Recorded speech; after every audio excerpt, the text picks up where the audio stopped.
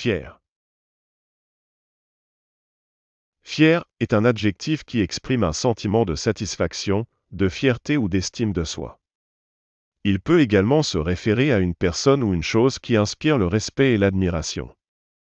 Voici quelques exemples d'utilisation de fier.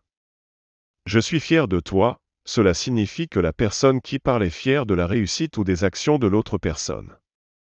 Elle est fière de son travail, cela signifie que la personne est satisfaite et estime son travail.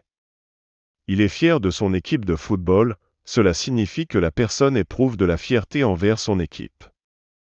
Cette ville est fière de son patrimoine culturel, cela signifie que la ville estime et met en valeur son patrimoine culturel. Elle a une attitude fière, cela signifie que la personne a une attitude arrogante ou prétentieuse.